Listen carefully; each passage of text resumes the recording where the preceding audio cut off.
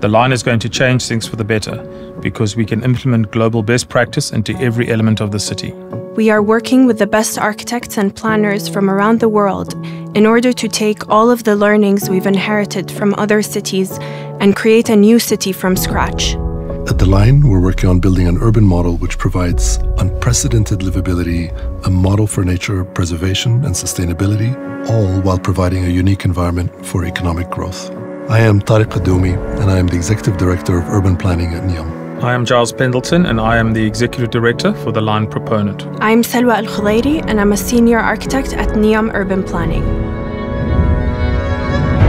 My name is Michio Kaku. I'm a professor of theoretical physics, and I'm also a futurist. What will a city of the future look like? When I was a child, I used to think about the city of the future. Are we going to have flying cars? Are we going to visit the moon and Mars? When I grew up, I began to look at these cities like Paris, London, New York, and I saw traffic jams. I saw pollution. I saw tremendous inequalities. And I said to myself, we can do better. We can create, perhaps out of the desert, a city that would be sustainable, livable, a city of the future. The line shows us a new way of doing things, a new pattern by which we can make a livable future. Placemaking to me is about creating the canvas for community. It's about creating spaces for people to want to visit and live in. A place that cares for its society. Many demographers think that the cities of the future will contain about 50 million people. That's not livable at all. At The Line, we are working on creating a template by which we can create cities of the future. That's where jobs are. That's where opportunities are. And so placemaking to me is about creating a legacy, creating a template by which other nations can then compare their cities, their plans with what's being done here in Saudi Arabia.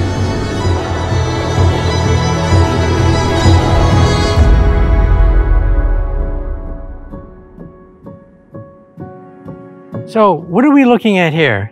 So, we're looking at the line as a whole. The line spans across three different geological regions. So, we have the coastal desert, the mountain, and the upper valley. It starts out at 500 meters height, and then slowly, as the topography rises, it disappears into the mountains. We have the hidden marina. This is where we're starting construction. We bring in a canal from the Red Sea to create a bay all this is sustainable, right? NEOM itself is 100% renewable energy. We produce energy through solar, wind, and hydrogen. Uh-huh. We also have 100% sustainable water, meaning we take out water through desalination mm. from the sea. Right. However, we don't dump the brine back into the sea. Mm-hmm. So we use that salt and we recycle it, making the process very sustainable.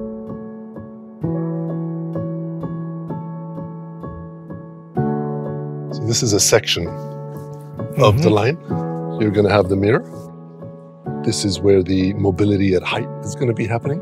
This is your neighborhood, for example, right? Uh huh. And where are the shops where people can go shopping? So all of here is shops, right? Shops so where your public space is, these that could be office spaces, right, where people right. come down for lunch and sit outside, and basically you're five minutes away from your daily needs, meaning mm-hmm. your school, your nursery. Ah, makes life very convenient then, right? Everything's within walking distance. Like Midtown Manhattan, you're within walking distance of everything. Of everything. Within Midtown. But outside of that is hell. it gets worse The worse. commuting is incredible exactly. to get to that Midtown Manhattan.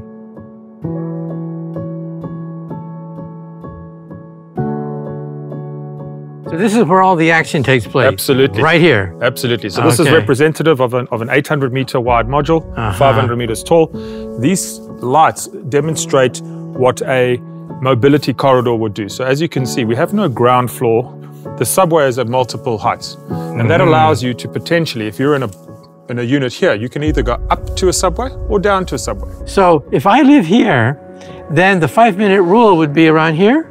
Yeah, so five minute rule is generally 400 meters, mm-hmm. vertically and horizontally, and literally across. So we live in a three dimensional city.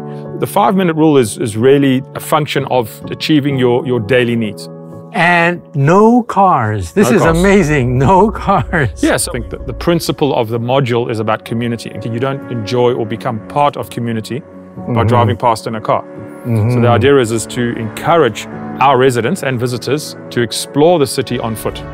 So your world, with all your basic needs, are met within five minutes of your living unit. Like Lego blocks, if you stack these modules one after the other after the other, you get the line. Absolutely.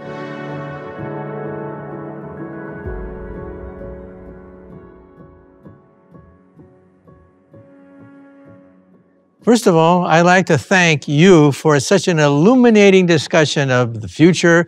Thank you for the opportunity of interacting with the individuals that have made this possible and of actually going to the site itself it's an experience that you cannot put on a sheet of paper to see all the bulldozers, the cranes, the, the hundreds of workers. They're working on a project that they believe in because this is part of their future. But now I'd like to ask some questions. What gave you the inspiration to take on a challenge this big? Uh, the scale was the first thing that got me interested. And I think part of the, the overall vision around a cognitive and sustainable city, and those are two lenses I've traditionally seen a lot of my career through.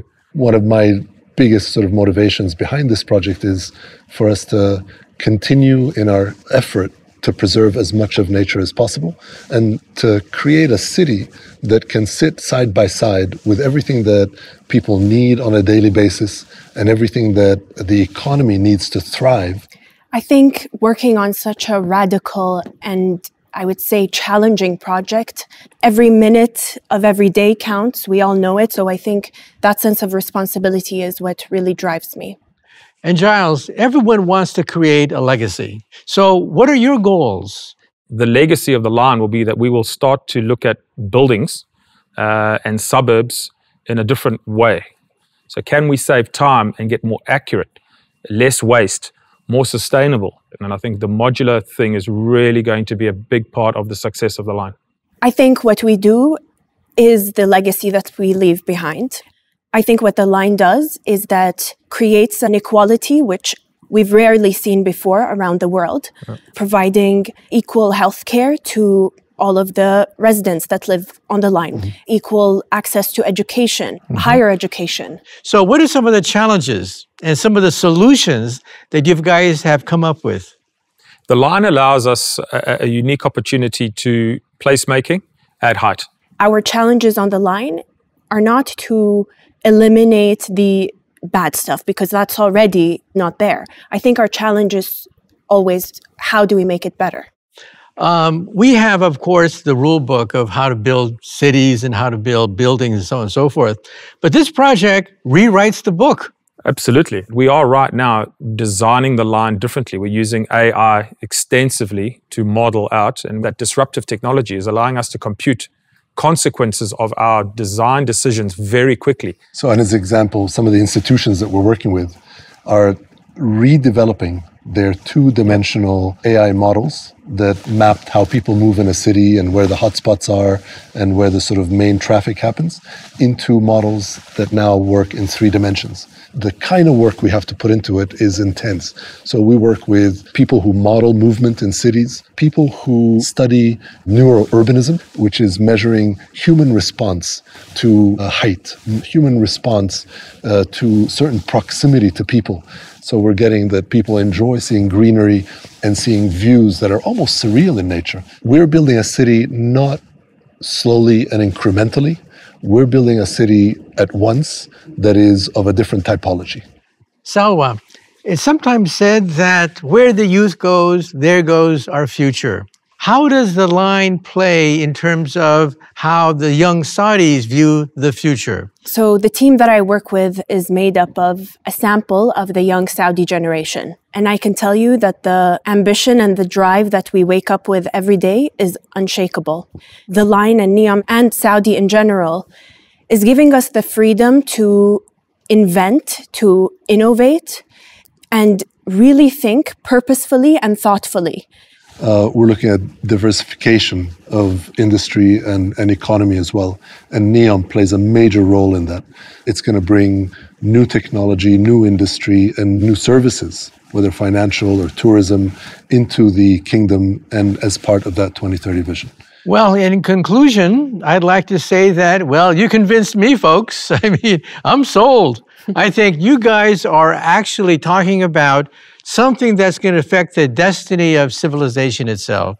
A new architecture, a new way of thinking, a new way of organizing ourselves, a new way of living. People are going to say to themselves, wow, something new is happening in Saudi Arabia. They've taken the lead. They're thoughtful they're planning, and they're going to enrich our lives.